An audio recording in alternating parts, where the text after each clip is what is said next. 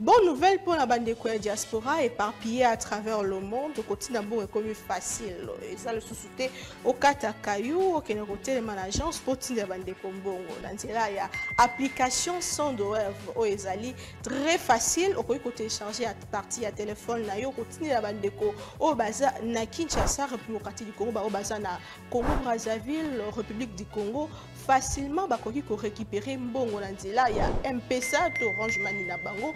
E yo esika ozali bonne nouvelle ya mibale ezali ke soki otélécharge application sandweb ekotindi na code promo buzz tv okozwa 10 dollars lokola bénéfice. Donc il y a pas mieux télécharger mokona lelo. Makambo kotelema na jean cécile il y a pas mieux que ça. Tinda mbongo la facilité dès aujourd'hui télécharger sandweb na nzela ya téléphone na yo plus facile il n'y a pas mieux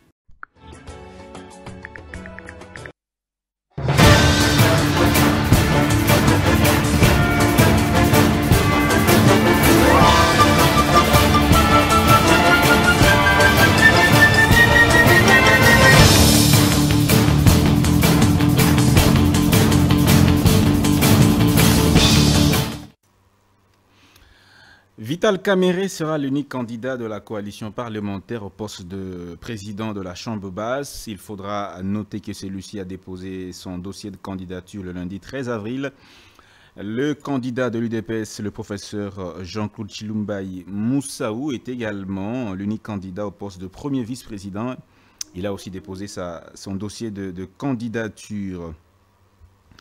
Euh, au poste de deuxième vice-président, Christophe Mbosso fera face à Antipas Mboussa Nyamoussi, élu de Boutembo et actuel ministre de l'intégration euh, régionale. Deux candidatures font polémique, celle de Serge Bahati, fils de Modeste Bahati Lukobo de Caroline Bemba. Après avoir accompagné le professeur Chilumbaï à déposer sa candidature au poste de premier vice-président de l'Assemblée nationale, Augustin Kabouya saisit l'occasion pour dire aux membres de l'Union sacrée ce qui suit, je cite, Le peuple ne nous a pas donné le mandat pour venir étaler nos disputes, nos problèmes sous la place publique. Et je demande aux uns et aux autres euh, d'utiliser la voie de la sagesse. Il faudra également savoir qu'un communiqué signé par plus de 200 députés nationaux s'oppose au ticket de l'Union sacrée au bureau définitif de l'Assemblée nationale pour notamment tribalisme, népotisme et favoritisme assurant actuellement la gestion des affaires courantes à la primature, le sénateur et du Haut-Katanga, à savoir Jean-Michel Samaloukonde, a officiellement annoncé sa candidature au poste de président du bureau définitif du Sénat. Euh, on doit réviser la constitution de 2006 car elle a été parrainée par Paul Kagame, d'après Augu Mamoni, cadre du parti des Lézères. Tamwe, construction, contrat de construction de stations d'eau, les avocats de Stever Construct rejettent les allégations de surfacturation et de non-respect des règles de passation des marchés publics. Ituri, une frange de la société civile, appelle à la fin de l'état de siège après plusieurs massacres enregistrés depuis 2021. La société Transco a réceptionné neuf nouveaux bus sur ses lignes à Kinshasa. Enfin, le Stade des Martyrs, le match avec le Maniema Union a été délocalisé suite au concert de Moïse Billet le 19 mai prochain. Un seul sujet fera donc l'objet de cette émission, les atouts et les faiblesses de la Constitution de 2006. Deux invités sur ce plateau, Monsieur Jean-Pierre Kambila, il est sociologue, politologue, écrivain et penseur. Penseur congolais, il a occupé des hautes fonctions dans, dans ce pays. Bienvenue à nouveau, Monsieur Jean-Pierre Kambila, sur ce plateau. Merci, merci pour l'invitation. Merci beaucoup. En face de vous, Monsieur Alain Bolodjoa Ibola, il est euh, écrivain, il est aussi coordonnateur euh, de l'EBAT, du, du, mouvement l'EBAT, Lévons-nous et bâtissons, bâtissons, voilà. Auteur de l'ouvrage Forêt congolaise, conflit nébuleux d'objectifs écologiques et économiques donc, euh, merci beaucoup, Monsieur Alain Bolodjoa, d'être également de cette partie. C'est à moi de vous remercier. Mes salutations à mon co-débatteur. Merci beaucoup. On va donc directement euh, démarrer avec le premier sujet, les atouts et faiblesses de la Constitution de 2006. Monsieur Jean-Pierre Cambila. Il attend la question.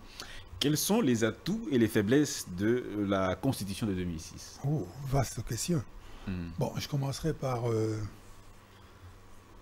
exprimer le plaisir qui est le mien d'être en face de quelqu'un que, que j'admire, dont j'admire les, les prestations euh, à travers euh, ces émissions de télévision.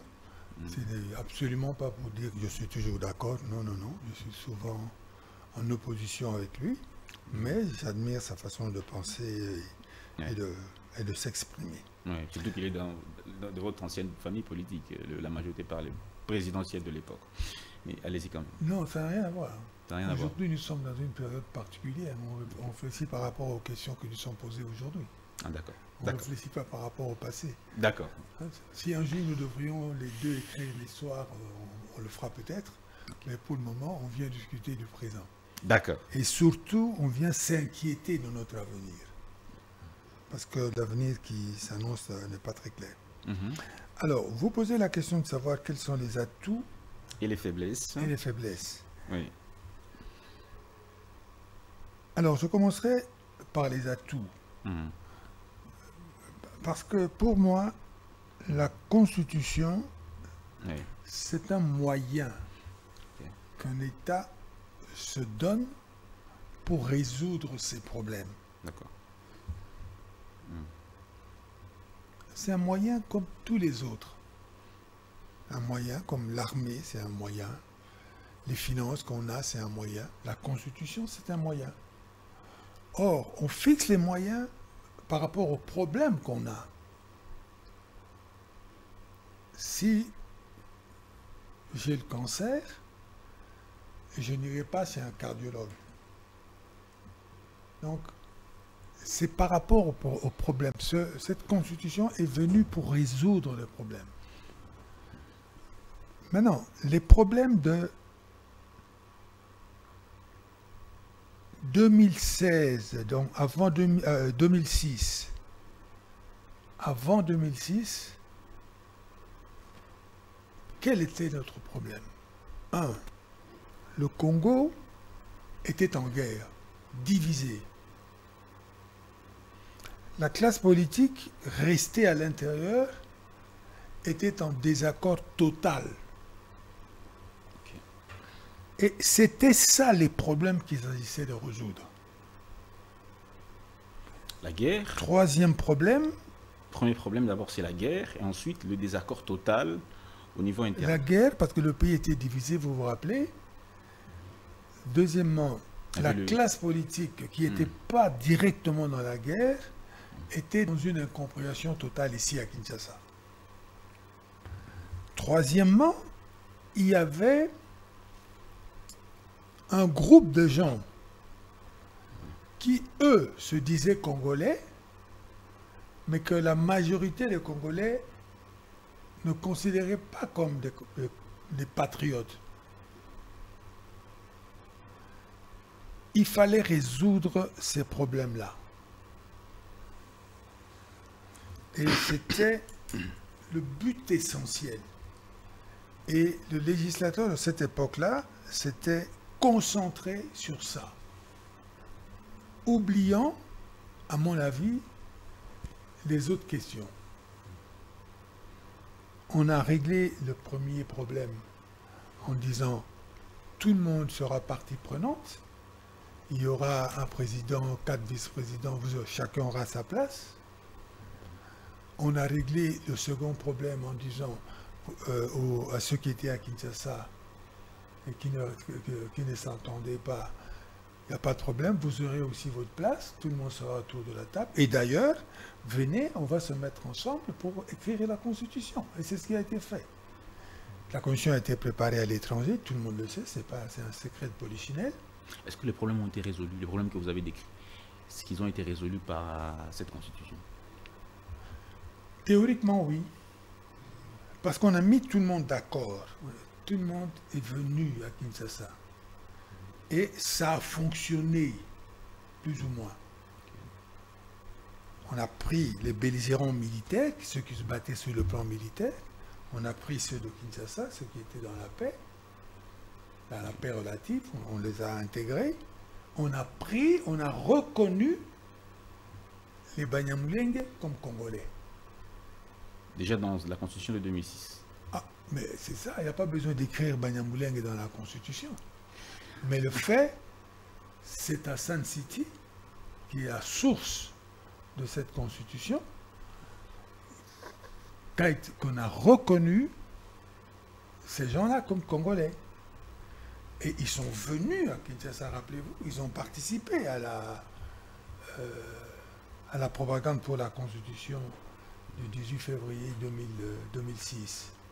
Donc, Certains même étaient, comme Roubérois était devenu premier, euh, un vice-président. Il est, ben, voilà. voilà. Donc ça prouve bien qu'ils étaient partie prenante. Alors, or, est-ce qu'une constitution doit s'arrêter à ça? Là, vous êtes dans les atouts. Là, c'est pendant les atouts. Hein. Oui, non, non, non. Mais moi, je réponds globalement. D'accord. Les atouts, c'est que ça nous a aidé à régler un certain nombre de problèmes. Mais le défaut, à mon avis, le hmm. tout premier défaut, et je l'écris dans l'ouvrage que je vais vous laisser, dans l'ouvrage, c'est pas un ouvrage, c'est une brochure, dans, dans, la brochure ici, on ne s'est pas concentré sur l'avenir. Parce qu'une constitution, j'ai commencé par dire que c'est un outil, c'est un moyen. Quel est notre problème? Quel est le problème du Congo? Qu'est-ce que nous voulons que la constitution, à quoi devrait-elle servir? Elle devrait nous aider à quoi? À faire quoi? À raffermir l'unité nationale, bien évidemment.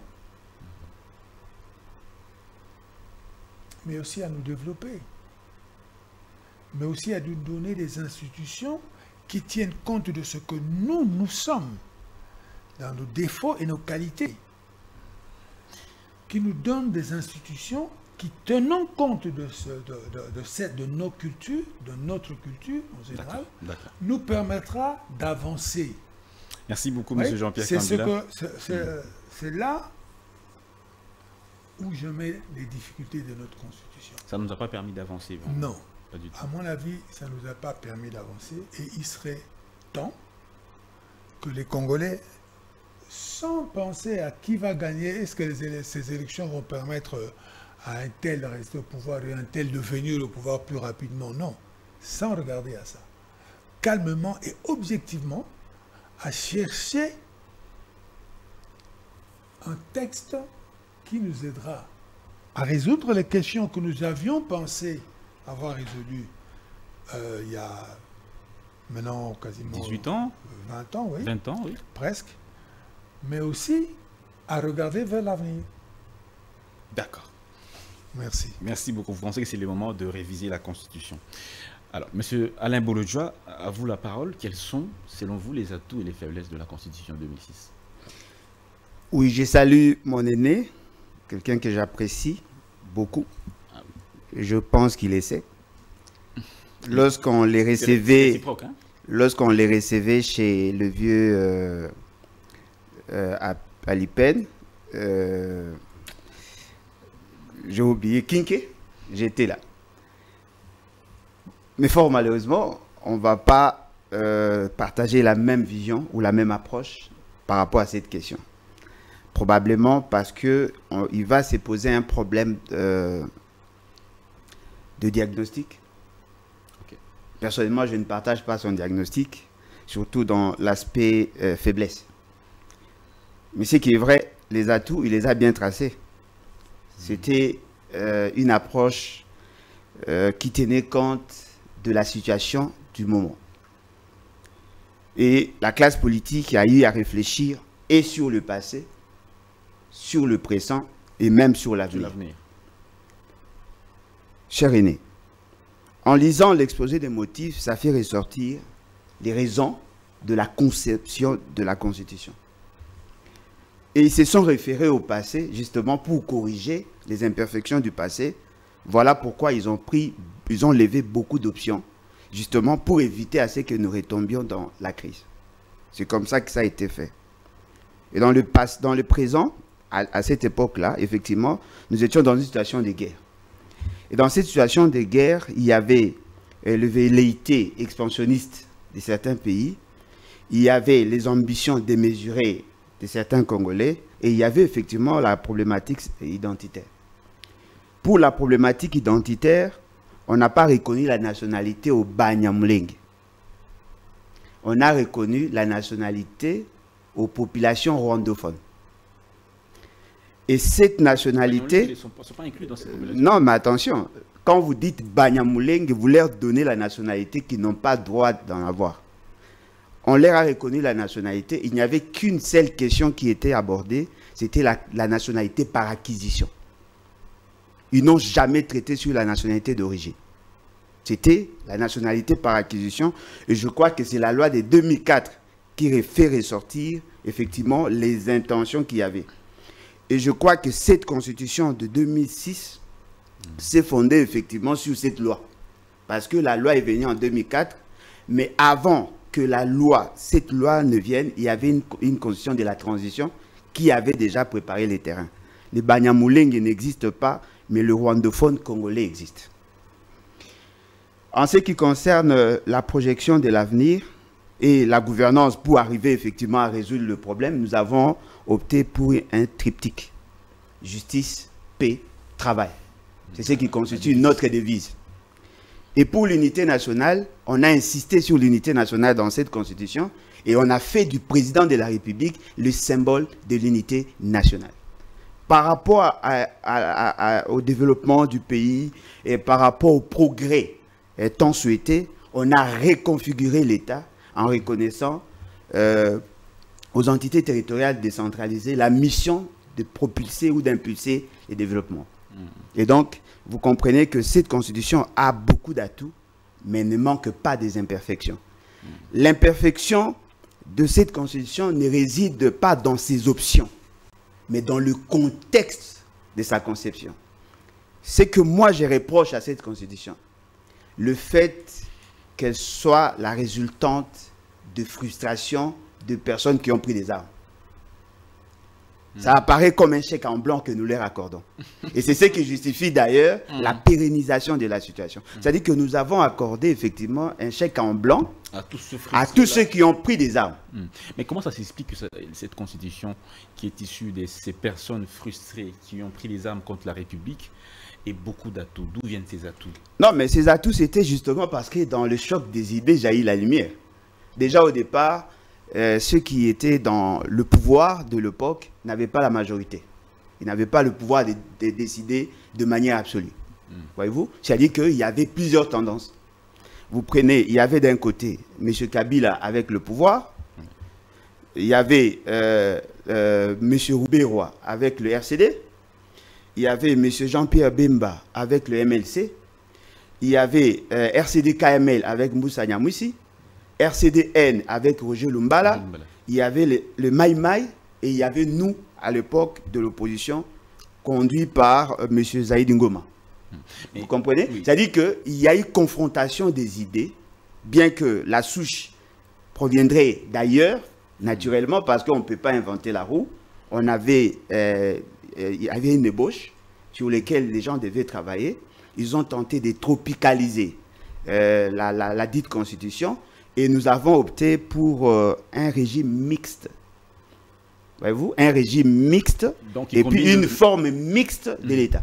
Et donc, naturellement, c'est une formule que nous avons trouvée au regard de nos réalités sociologiques c'est le moment et de- historiques. C'est le moment de, de réviser cette constitution pour mettre fin à ces faiblesses que vous, que vous avez remarquées? Non, mais la, la faiblesse ne sera pas résolue parce que... C'est pas le moment idéal? Non, mais la faiblesse ne sera pas résolue parce que moi, je parle du contexte. On ne va pas changer le contexte. Voyez-vous Ce qui est important de retenir, c'est que cette constitution elle-même a prévu les mécanismes de sa révision. Alors, nos amis doivent être sincères. Ils veulent réviser ce qui est constitutionnel ou ils veulent carrément changer les constitutions. Pour que vous arriviez à changer les constitutions, il faut d'abord relever les faits politiques majeurs qui vous empêchent d'appliquer la constitution qui est en vigueur.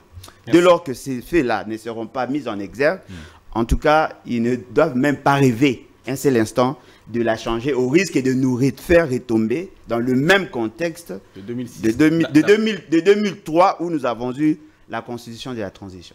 Merci beaucoup, Monsieur Alain euh, Bolodjoa. Alors, Monsieur Jean-Pierre Kambila, la question de, de la révision, elle s'invite vous avez soutenu la thèse selon laquelle le moment est propice pour pouvoir justement euh, modifier. La question d'abord, c'est est-ce que vous êtes partisan du changement ou de la révision? Oui, là, vous entrez, vous, entrez déjà dans les détails. Laissez-moi revenir euh, un peu en arrière. Face à cette question de changement de, de constitution, je me refuse de m'habiller en politicien. J'aimerais faire l'effort de réfléchir objectivement. Faire l'effort de réfléchir euh, objectivement ne veut pas dire y arriver. Mais j'aimerais faire cet effort-là. Mmh. Bon. J'ai commencé par dire ici, une constitution, elle vient, c'est un instrument que l'État s'octroie pour pouvoir régler ses problèmes. Cette constitution nous a aidé effectivement à régler un certain nombre de problèmes pendant un certain moment. Est-ce que ces problèmes sont réglés définitivement Non. Parce que nous sommes euh, des êtres vivants, nos problèmes ne se règlent jamais définitivement. On règle un problème, demain il réapparaît sous une autre forme, etc. Mais cette constitution-là a quand même eu cet avantage-là. Elle a mis nous a mis d'accord sur un certain nombre de choses et nous a permis d'aller vers ce qu'on appelle chez nous la démocratie. Sujet sur lequel nous pourrions aussi, à un moment donné, discuter. Maintenant, vous me parlez de moment. Il nous a ramené sur la démocratie. Oui, oui. Mais notion sur laquelle il y a aussi à dire, il y a beaucoup à dire parce que la démocratie telle que nous la vivons euh, aujourd'hui, nous l'avons vécue, nous, avons vu ce que, ça nous donne. Mm. Ben, certaines personnes, dont moi, se posent la question de, sa pertinence, de la manière dont nous, la pratiquons. Mais tel n'est pas le sujet d'aujourd'hui. Aujourd'hui, nous, nous parlons de la Constitution. Est-ce le moment? Moi, je pense que oui. Moi, je pense que oui, parce que ce que la Constitution a réglé, c'est bon. On a arrêté la guerre, non parce qu'elle a, a recommencé. Hein. Il y a, d'autres personnes qui, sont, qui ont pris les armes maintenant. Nous avons créé une scène politique plus ou moins organisée. Elle existe maintenant, elle est là. Euh, bientôt, on va aller au Parlement. Ce Parlement, il est issu de cette constitution-là. Donc, ça veut dire qu'il y a des avantages. Mais est-ce que ça nous permet de dormir sur nos lauriers et de dire que c'est bon? Ou est-ce qu'il est nécessaire d'améliorer? Moi, je suis de ceux qui pensent que c'est nécessaire d'améliorer. Et c'est le moment idéal d'améliorer, vous l'avez dit Non, le moment idéal, vous là, vous me posez une question de politicien. oui, c'est-à-dire que le politicien, le moment idéal, c'est le moment qui le favorise lui, qui le favorise son, qui favorise son camp politique à lui. Ok? Aujourd'hui, si vous regardez dans ceux qui sont au pouvoir aujourd'hui, il y a beaucoup de gens qui, en, lorsque moi je me battais pour qu'il y ait révision constitutionnelle, euh, étaient dans exactement la position contraire. Vous, vous étiez, vous battiez pour la révision conditionnelle déjà en 2000, c'était en 2000 combien déjà? Je crois que c'était en 2012-2014, entre 2012 et 2014. Le dernier mandat du président Kabila. Oui. Et, pour, dire la vérité, j'étais avec Mosengo quand il contestait la Constitution. C'est-à-dire qu'il n'avait même pas encore passé le référendum. Parce que lui mettait déjà euh, le doigt sur les faiblesses de cette Constitution avant qu'elle ne passe au référendum. Mhm. Mais quels sont les aspects J'étais déjà d'accord avec lui. Pourquoi? Parce que moi, je considère qu'une constitution, elle doit venir résoudre les problèmes. Mais tous les problèmes, c'est possible. OK? Au moins tenter de le résoudre. Écoutez, nous avons cru qu'il était nécessaire de résoudre le problème, mon jeune frère l'a dit très clairement, en, en mettant une forme mixte de l'État, en, en rapprochant l'autorité de nos populations par rapport à ce qu'on appelle ici la décentralisation, notamment ces deux choses-là. Est-ce que ça a été une réussite? Ben non. Non, parce que la forme mixte de l'État, on, a vu ce que ça a donné. On a vu ce que ça a donné lorsque on a changé le président de la République.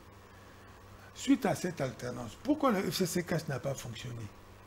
Notamment à cause de qui détient le pouvoir. Oui, Quelle est la forme, quelle est la forme ou laquelle nous devions adopter non, là, là, vous me la, la- la demandez- bonne forme. Non.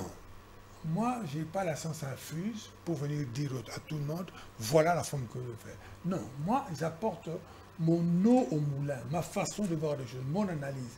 Je dis que la forme, la mixité qu'on a voulu faire là, entre un État qui est euh, un peu décentralisé, euh, mais, mais quand même avec un pouvoir central, entre un, un- un président qui est président de la République, qu'on va voter au suffrage universel, mais alors que quand, dès que vous ouvrez la Constitution, vous voyez bien qu'il n'a pas de pouvoir, qu'il ne peut pas faire ci, il ne peut pas faire ça. Il faut qu'il soit d'accord avec euh, son Premier ministre qui, lui, est le chef de... C'est quand, même des- c'est quand même des avantages tout ça. Non, C'est pas un désavantage, je veux dire. c'est un désavantage, à mon avis. Nous sommes un pays, vous voyez? Nous ne sommes, nous sommes pas seulement un pays, nous sommes aussi une culture. Nous avons des façons de voir les choses. Au Congo, c'est difficile à dire aujourd'hui parce que la, le- la mode intellectuelle ne le permet pas. Mais moi, j'ose le dire très calmement. Le Congolais, c'est pas un Français. Et encore moins un Américain. Le Congolais, il a sa culture. Oui. Le Congolais, il veut, d'après mon analyse, Oui. il veut avoir un chef qui dit ce qu'il va faire, qui le fait à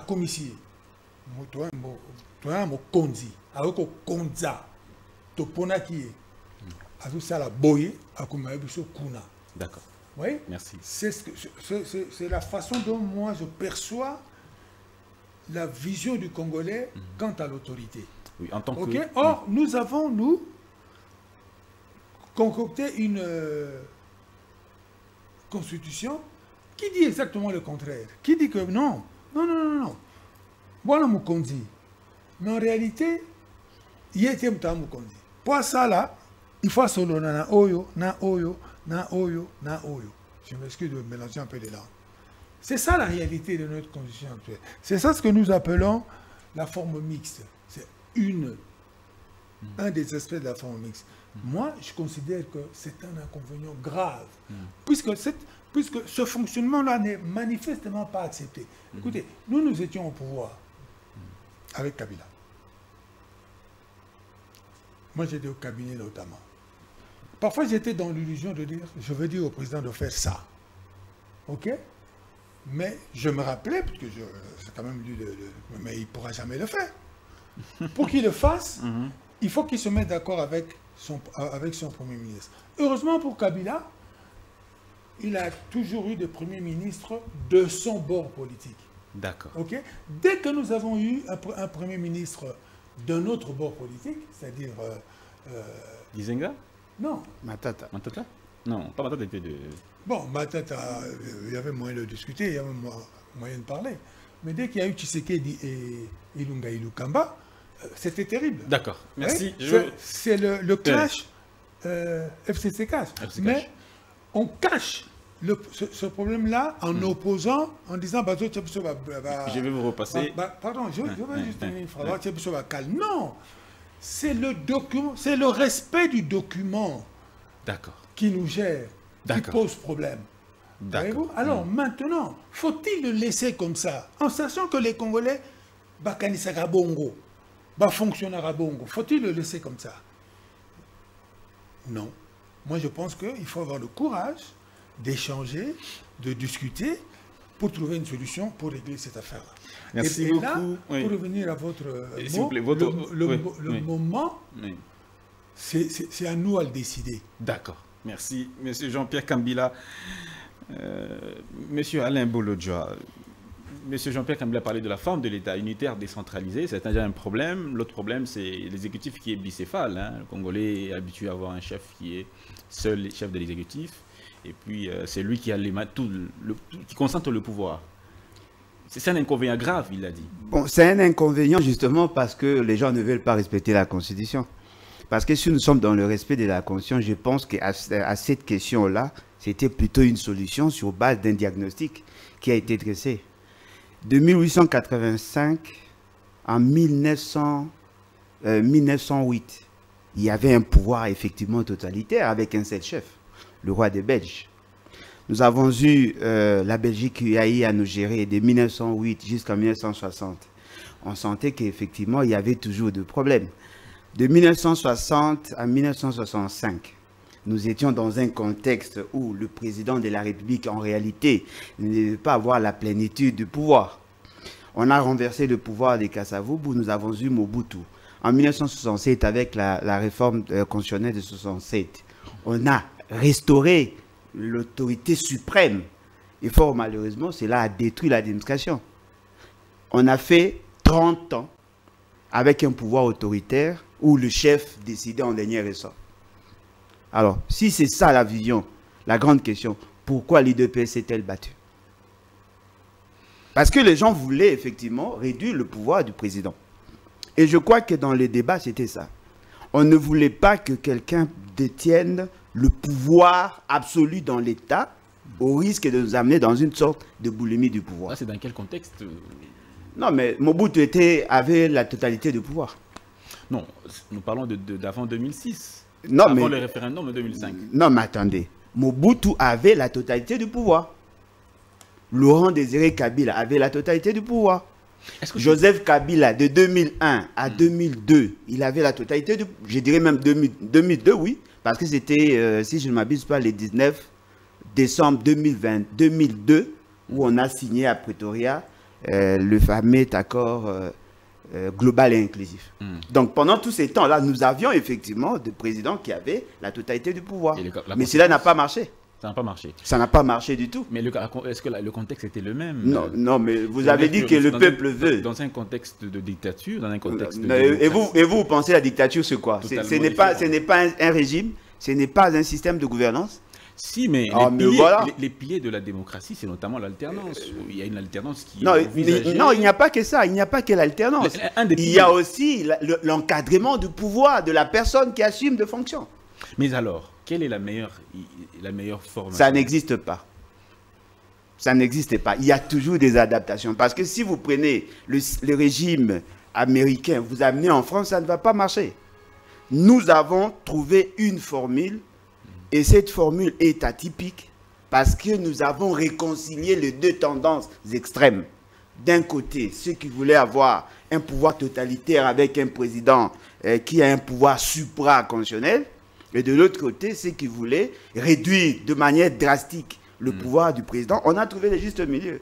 Mm-hmm. La grande question que nous devons tous nous poser, avons-nous un seul instant appliqué cette constitution? Jamais. Nous ne l'avons jamais appliquée. Nous faisons semblant de l'appliquer. Pour connaître le faiblesse de cette constitution, appliquons-la. Je vais vous le démontrer. Mon aîné a insisté sur euh, euh, l'option de la décentralisation. Nous ne l'avons jamais appliqué. Jamais. Je défie quiconque. Parce que dans la décentralisation, il y a un transfert de pouvoir, un transfert de compétences aux entités territoriales décentralisées, aux entités régionalisées qui sont les provinces. Qui a déjà vécu les transferts de pouvoir Nous avons opté pour les 40% des retenues à la source et puis, nous avons opté pour la caisse de péréquation. La caisse nationale de péréquation. Fort malheureusement, ni euh, la retenue à la source, ou encore moins la rétrocession n'a été effective. Hmm. Encore moins euh, la, retenue ou le, la caisse de péréquation n'a jamais été alimentée.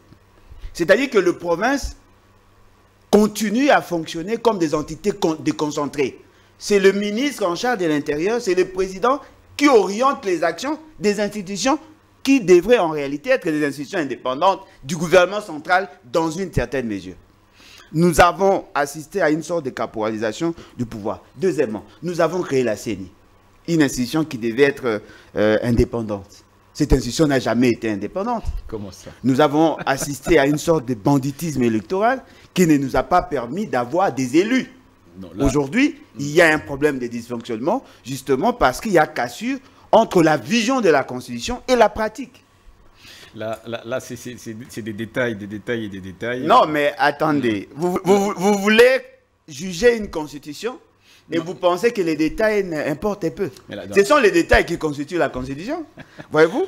Vous prenez euh, la pratique démocratique. Lorsque mon aîné insiste sur la pratique démocratique. Moi, j'aime la démocratie. Mais la démocratie peut être adaptée selon les espaces, selon les cultures. Voyez-vous? Nous avons voulu que le peuple détienne le pouvoir. Le peuple ne peut pas détenir le pouvoir concomitamment avec une autre personne il faudrait que tout pouvoir émane du peuple. Il faudrait qu'un président de la République soit élu. Il faudrait que euh, le, gouverneur soit effectivement élu. Il faudrait que le chef des entités territoriales décentralisées soit élu. Nous avons créé une centrale électorale. Cette centrale électorale doit rassurer à tout le monde sa neutralité. Fort malheureusement, dans la pratique, comme vous le savez, la CENI n'exerce pas euh, son indépendance. Alors, l'amélioration de conditions de vie devrait en réalité résulter... C'est politique peut-être. Non, mais je peux vous démontrer techniquement. Hein. Allez-y, allez-y. Déjà par rapport à la désignation des membres de la CENI. revenez à ce que vous dites. Vous comprenez qu'il euh, y a émission euh, de la politique. Et puis deuxièmement, hmm. vous prenez euh, le, fonctionnement de la CENI. La CENI n'est pas suffisamment indépendante du fait que financièrement, il dépend du budget de l'État. Ça n'a pas été bien réfléchi, probablement. Alors, moi, je pense que pour que nous incriminions cette constitution, laissez-la s'appliquer et après on va dénicher le point faible. Dans l'application, la, la, procédure de formation du gouvernement, nous avons un chef de l'État qui doit identifier une coalition parlementaire majoritaire.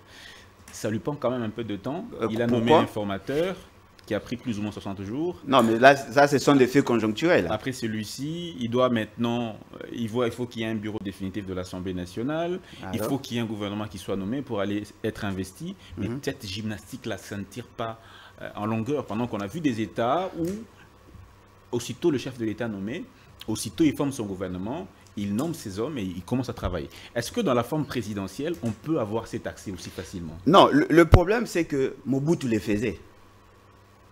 Mobutu le faisait, il nommait comme il voulait.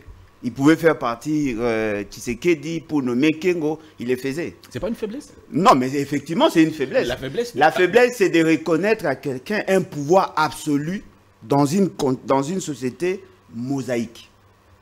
Peut-être les gens ne le savent pas. La sensibilité de cette constitution réside dans la composition euh, sociologique de notre société. Nous avons 450 tribus.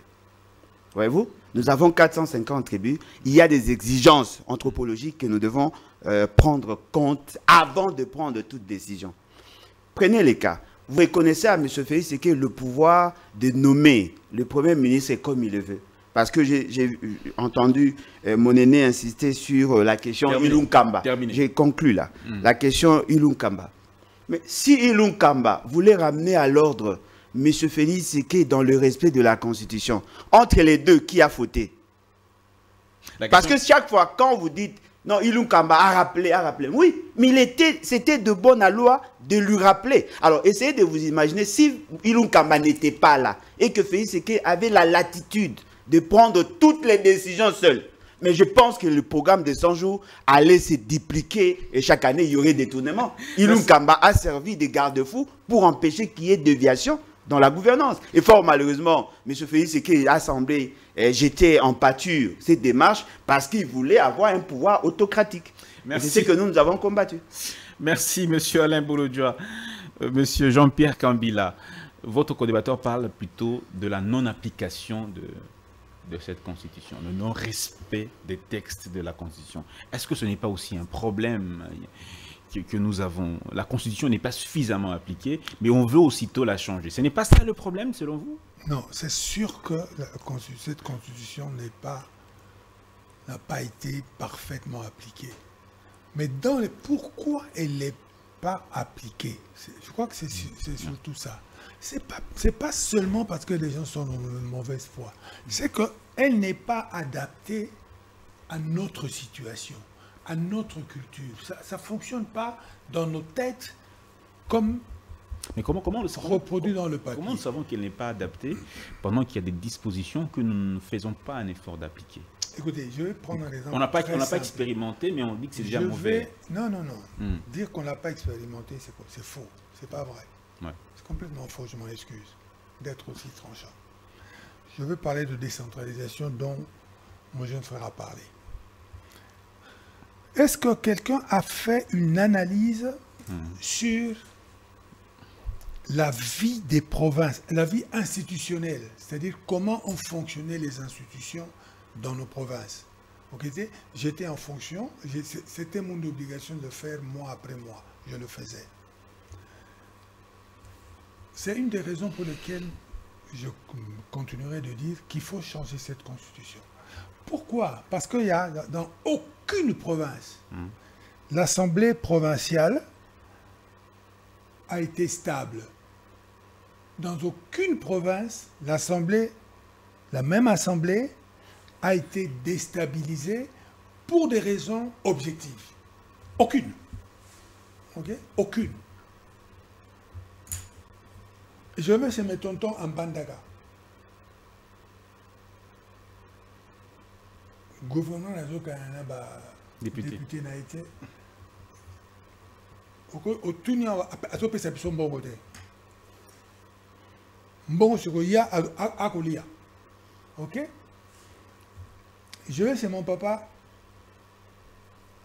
au Kassai. Même chose. Jusqu'au moment où le gars qui est à, à- à la tête, il comprend ce souci-là, il trouve un arrangement. Entre parenthèses, illégal. Pour calmer ces, trucs-là. J'ai un ami très proche, puisque j'ai travaillé avec lui à la présidence dans le même bureau, qui est devenu gouverneur. Maintenant, on quitte l'époque euh, Kabila pour entrer dans cette euh, période-ci. Exactement la même chose. Non, les gens avec qui nous devons travailler, avec qui le président doit diriger le pays, avec qui nous devons mettre en place la décentralisation, ils n'ont pas compris la décentralisation. Pour eux, le gouverneur, c'est le chef qui reçoit l'argent de Kinshasa et qui doit le distribuer selon ce que eux veulent. Et puis, je peux, je, je, je mets au défi qui que ce soit de venir me contredire sur ce plan-là. Je me suis occupé de ça de jour en jour.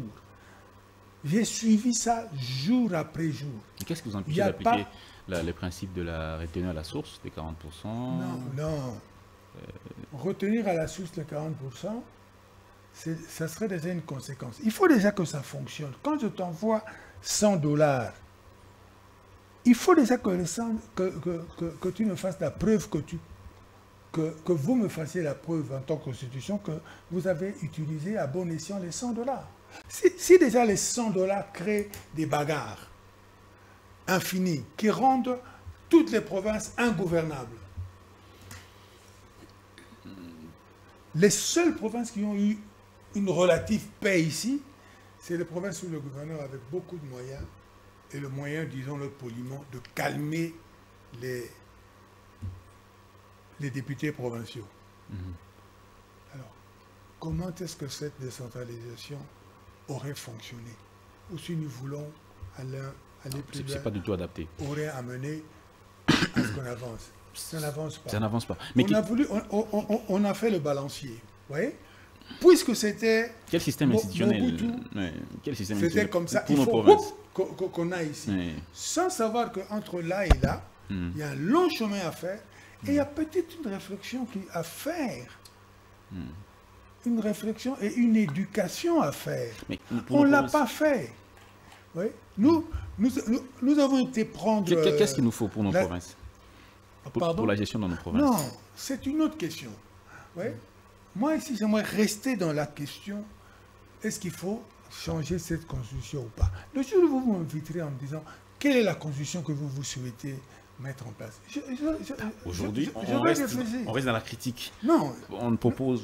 moi, je, je critique parce que c'est vous qui m'avez Non, non, je dis. C'est vous qui posez des questions. Vous avez dit, nous donc- allons réfléchir sur les, les atouts et les inconvénients de cette constitution. C'est à peu près ça la question. Oui, dans votre méthode aujourd'hui, vous préférez vous, vous arrêter là, pas faire des propositions. Mais c'est la démarche que je considère comme étant scientifique et la bonne. Puisque vous me dites, nous venons critiquer la constitution. Nous venons savoir ce qui est bien et ce qui est mauvais. Mais je, reste dans ce cadre-là. Le jour où vous, me direz, M. Gambila, pour vous, qu'est-ce qu'on devrait faire comme constitution? Je me préparerai en fonction de ça. D'accord. On, va donc revenir pour le mardi prochain avec M. Alain Bolodjoa pour faire des propositions pour une prochaine euh, constitution. Alors, M. Alain Bolodjoa, le système de gouvernance du Sénégal ne vous inspire-t-il pas? Euh, Les États-Unis, l'Afrique du Sud, où on a un président qui est élu au second degré, prenons le cas de l'Afrique du Sud, élu au second degré, et ça va très vite. Il a les institutions, il a la- la- la- le pouvoir de parlement. Est-ce qu'on ne ça ne ça peut pas être euh, rapide pour nous Ça va économiser les moyens pour nous, ça va économiser le temps, ça va permettre à ce que le chef ait une majorité qui soit totalement à lui. Est-ce que ce n'est pas bon? Bon, ce sont des options. Pourquoi les autres ne peuvent-ils pas nous copier? Pourquoi on ne doit pas dire aux Sénégalais copier le système euh, congolais? Soit par mimétisme que nous voulons nous adapter. Et tout ça, c'est justement parce que Félix est au pouvoir. Je tiens à vous dire que dans la présentation de son bilan, il a considéré que le bilan 2019-2023 était positif. Alors que la condition n'ayant pas été changée. Cela sous-entend quoi? On peut être compétent avec la même constitution, mais lorsqu'il s'agit de parler de la fin du mandat, on considère que l'on doit adapter la constitution parce qu'il y a des choses qui ne marchent pas. Non. Ça, ce sont des faits conjoncturels. Est-ce que, son bilan serait positif s'il était resté avec le l'une des Non, mais il est parti, il a abandonné le FCC Cash à la deuxième année. Il a évolué seul avec une majorité écrasante pendant trois ans. S'il a pu effectuer des miracles en trois ans, il peut le faire en cinq ans avec la même constitution. Je pense que nous devons... Bon, j'ai défie, euh, je, ré- je relève les défis de mon aîné sur la décentralisation D'accord. parce qu'il avait lancé les défis, je suis là. Je voudrais dire à mon aîné que la Constitution n'a jamais été appliquée. Partant de ce qu'il a dit, euh, il a considéré que le gouverneur n'avait pas assez de moyens et ça, fait- ça faisait que les députés, les députés provinciaux s'écouaient ouais. chaque fois Le gouverneur. euh, le gouverneur parce qu'il n'y avait pas assez de moyens. Oui, effectivement, parce que la Constitution n'ayant pas été respectée, ça créait des conditions de frustration. Il dit aussi que les peu de moyens qu'on disposait au gouverneur. ça Non, mais pourquoi disposer les peu de moyens? Pourquoi disposer les peu de moyens? Parce que, On n'a pas assez de moyens. euh, en notre- bon, ça c'est ce que vous dites. Vous voulez que je vous démontre sur base des chiffres que la caisse des péréquations méritait avoir 5 milliards de dollars en caisse Ah, Démontrer, non? Non, mais voilà, le premier budget de M. Félix était de 4 milliards 800 millions. En réalité, la caisse des péréquations devait avoir 480 millions de dollars.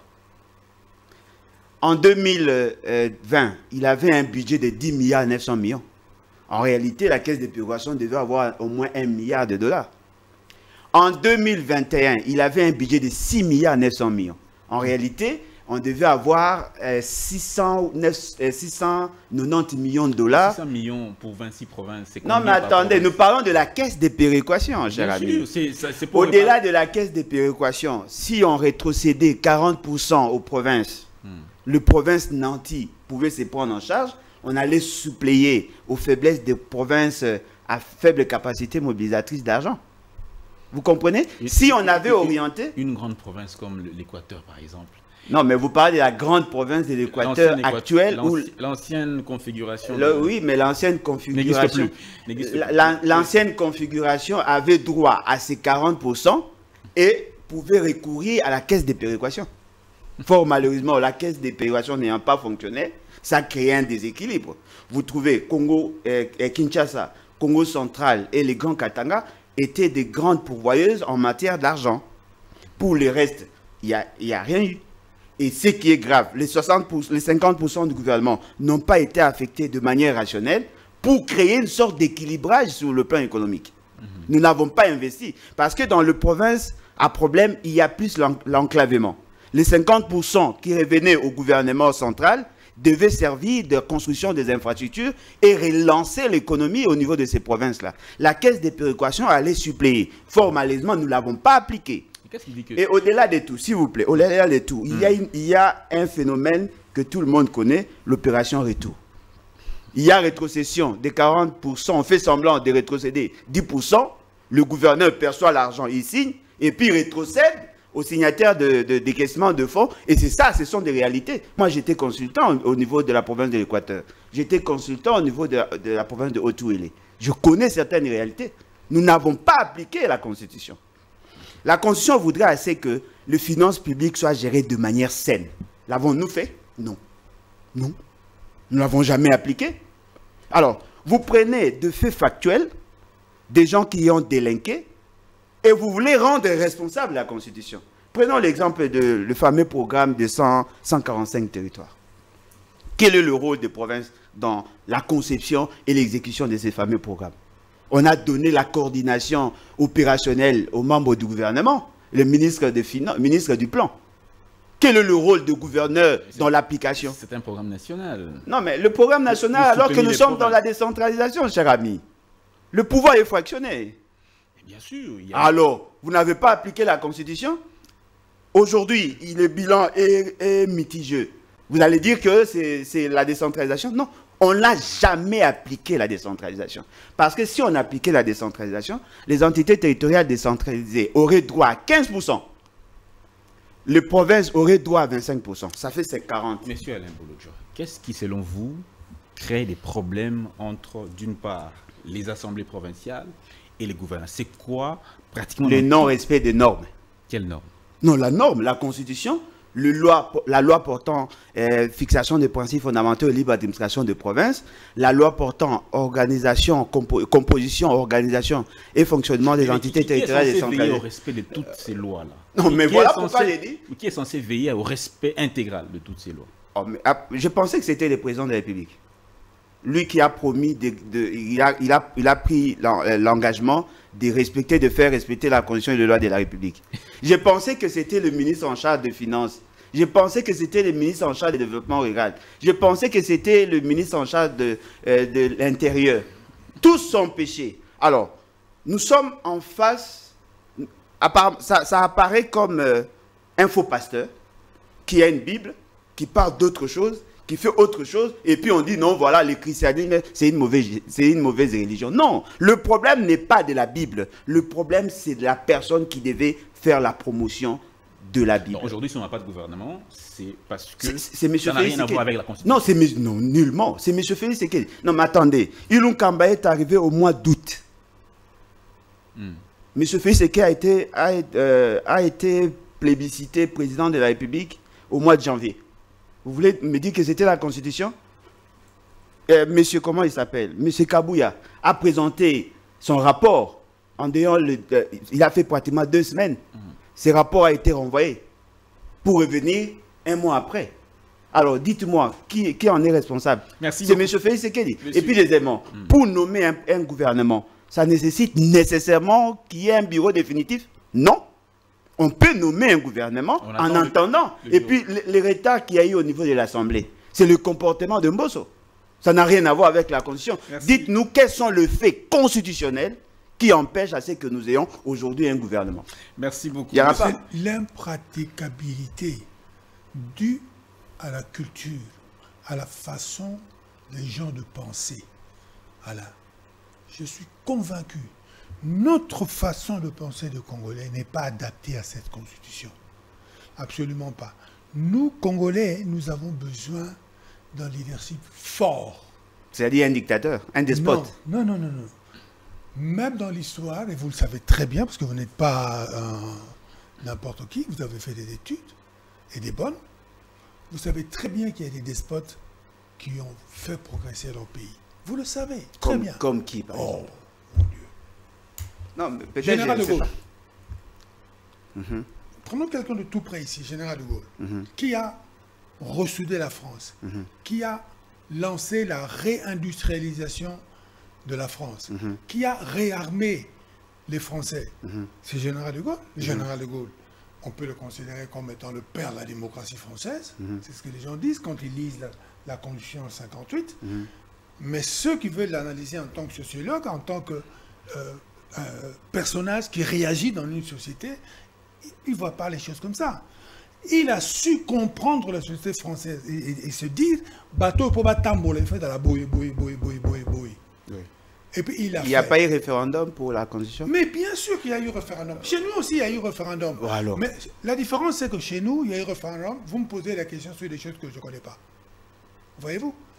Il y a eu référendum. Même s'il y a référendum 100%, le référendum au Congo n'aura pas la même valeur que le référendum en Allemagne.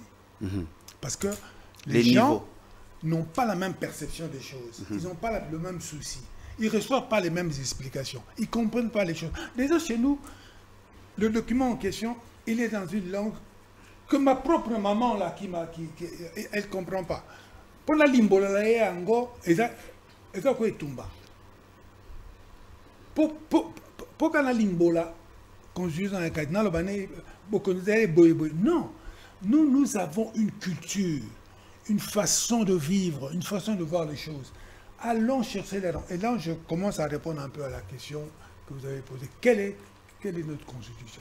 Notre constitution, c'est de regarder comment fonctionne notre société et d'aller voir là-dedans. Non pas de nous complexer, de nous dire que, ah, la constitution de 58 euh, euh, française, elle est formidable. Alors il faut, il faut prendre, euh, faut, faut trouver un belgo-congolais qui, est, euh, qui la comprend bien, qui l'explique à ses élèves euh, toutes les semaines à Liège. On va prendre Bob Kavamba. il s'entoure avec des gens intelligents, hein, je ne discute pas. Alors, Mais seulement ces gens-là sont hors contexte. Notre constitution, elle est hors contexte. Tout ça, mobeko moko, biso moko toko comprendre yango te. Déjà, biso moko tozo comprendre ba institution na biso te. On ne comprend pas les institutions. Je les ai pratiquées. Et sur ce point, je suis d'accord avec M. Ce n'est pas la Constitution. La Constitution ne vous empêche pas, ne fait pas qu'on ait jusqu'à présent pas de gouvernement. Non. Seulement la Constitution, et là je me réfère encore au général de Gaulle, et aussi à un compatriote que j'apprécie beaucoup, qui s'appelle Isambo, hein, qui, a, qui a écrit un ouvrage sur la Constitution.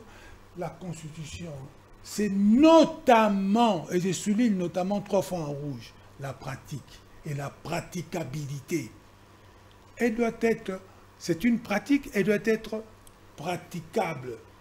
Il faut observer comment elle se pratique. Nous, nous n'avons pas su mettre en pratique ce joli bijou du 18 février 2006. On n'a pas su. Parce que pour nous, ce document est impraticable. Il ce document ne, ne- ne convient pas à notre façon de voir les choses. merci beaucoup, monsieur, euh, monsieur Jean-Pierre Cambila. Pour 2 minutes hein, 50 pour finir. Selon vous, c'est quoi le danger si cette euh, constitution est changée aujourd'hui? Bon, ça a été pour moi un honneur d'être euh, en face d'un géant. Je pense humblement que tout celui qui aura pour raison euh, le blocage culturel en vue de changer la constitution ne va rien résoudre. Parce que la question culturelle ne va pas se résoudre en un mandat. Ah, Voyez-vous?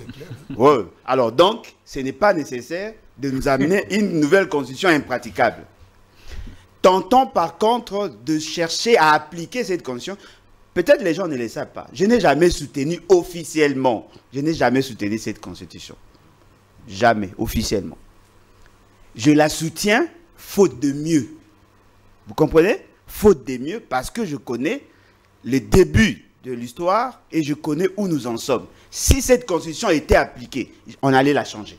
Fort malheureusement, elle n'a jamais été appliquée. Je ne veux pas la, juger par défaut. Si nous voulons résoudre le problème congolais, respectons le loi, respectons la norme. Je vous prends juste un exemple.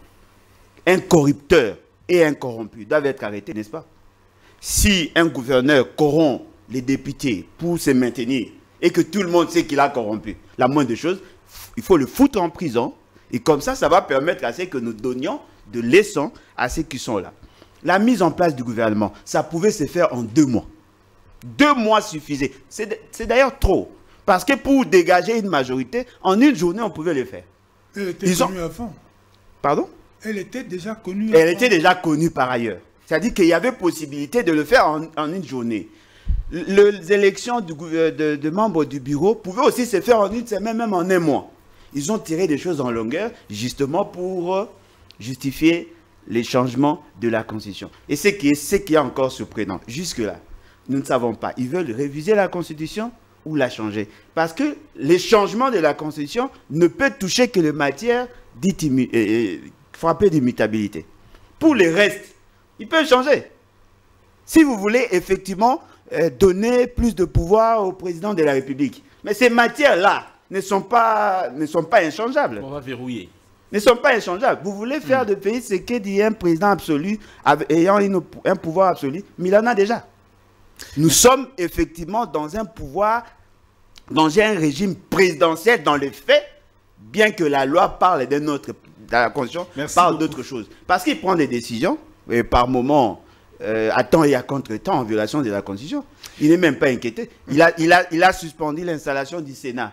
D'où a-t-il tiré le pouvoir? Merci beaucoup, Monsieur Alain euh, Bolodjoa Ibola, d'avoir pris part à ce numéro de Grande Tribune mardi 14 avril euh, 2024. Monsieur Jean-Pierre Kambila, d'avoir pris également part, Kankunda, d'avoir pris part à ce, ce numéro de Grande Tribune. Merci beaucoup. Vous disiez Kamkwende, ça. Kankwende. Oui. Merci Et si encore. vous jetez Wapunga, c'est mieux pour mes tontons. Merci de nous avoir suivis. Peut-être le mardi prochain, on aura le même casting. Attendons voir. Au revoir et à demain.